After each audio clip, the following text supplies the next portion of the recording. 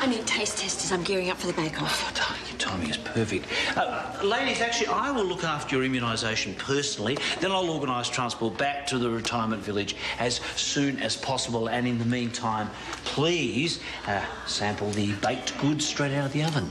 Yes, thank you. Not for me, thank you. For later? No.